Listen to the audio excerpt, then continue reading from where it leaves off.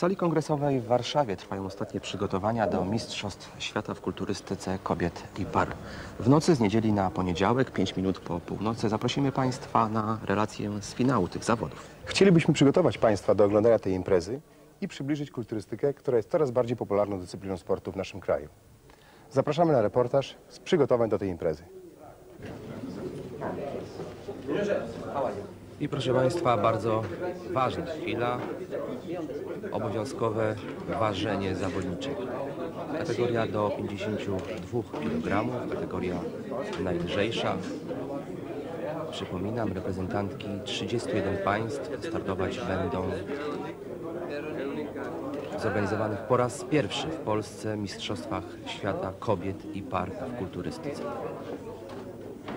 To jedna z reprezentantek Polski, Halina Kunicka, która wystartuje właśnie w tej kategorii, kategorii do 52 kg.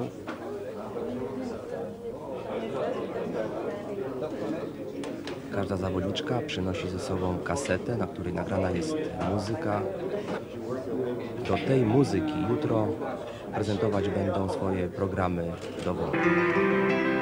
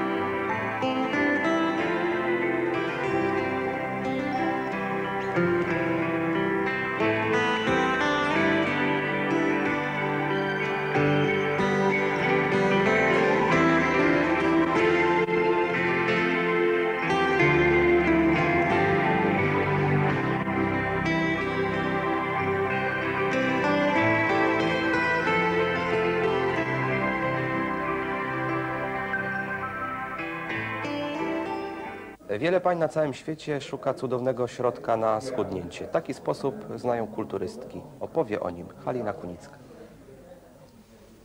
Przede wszystkim y, jedna z podstawowych spraw, y, aby utrzymać w ogóle figurę i przede wszystkim y, stracić zbędne kilogramy, przede wszystkim podstawą jest ruch.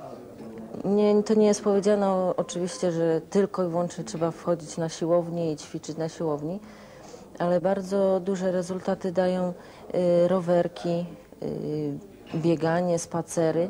Oczywiście to trzeba wszystko robić stopniowo, w zależności od y, osoby i od wieku i po prostu powoli wprowadzać ruch, y, starać się y, coraz więcej wprowadzać czy ćwiczeń, czy treningów i oczywiście najważniejsze przy tym jest dieta. Absolutnie trzeba odrzucić y, tłuszcze smażone.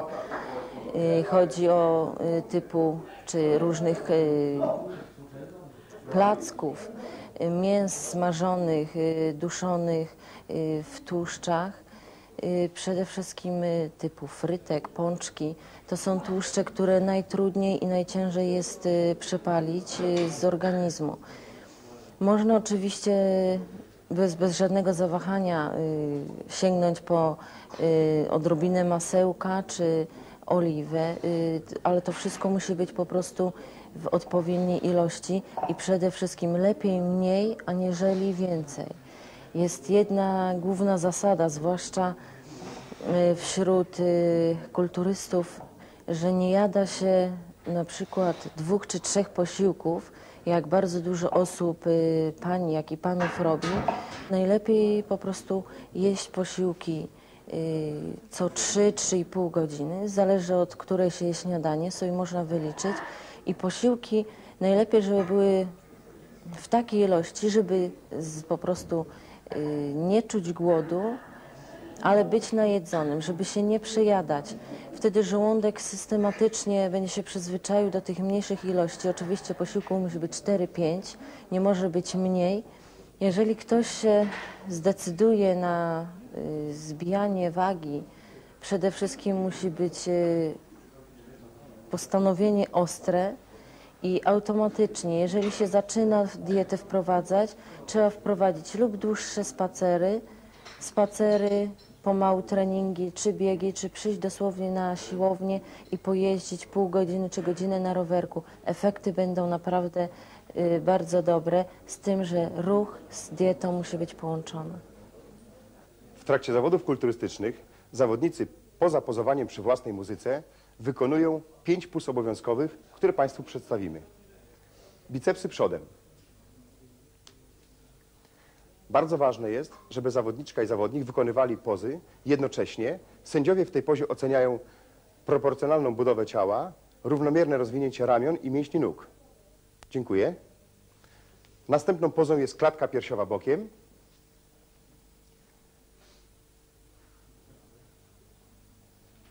Proszę zwrócić uwagę na jednoczesne wykonywanie ruchów. Sędziowie przede wszystkim oceniają mięśnie ramion, mięśnie klatki piersiowej i mięsień dwugłowy uda. Dziękuję. Kolejną pozą jest bicepsy tyłem. Proszę.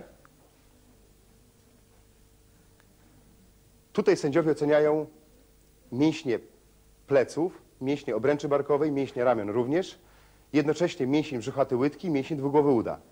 Również w tej pozie bardzo wysoko punktowana jest sylwetka, szerokość barków i stosunek do szerokości pasa. Dziękuję. Kolejna poza to tricepsy. Zawodnicy pokazują mięsień trójgłowy ramienia dowolną stroną. Również w tej pozie oceniana jest obręcz barkowa i mięsień dwugłowy uda, a przede wszystkim oczywiście mięsień trójgłowy ramienia. Dziękuję. Prążkowanie na mięśniu trójgłowym, które Państwo przed chwilą widzieliście, oznacza wysoką formę zawodnika, bardzo minimalną zawartość tkanki tłuszczowej. I ostatnią pozą, tak zwaną pozą prawdy, to jest mięśnie brzucha i nóg. Proszę. Dlaczego jest to poza prawdy? Wypracowanie tych grup mięśniowych pochłania najwięcej czasu, najwięcej pracy y, zawodnikowi. Dziękuję. Oczywiście sędziowie oceniają tutaj mięśnie proste brzucha, mięśnie skośne i mięsień czworogłowy uda. Dziękuję. Mam nadzieję, że udało nam się nieco przybliżyć Państwu kulturystykę i przygotować Państwa do oglądania naszej relacji. Na relację z finału zapraszam Państwa jutro, 5 minut po północy.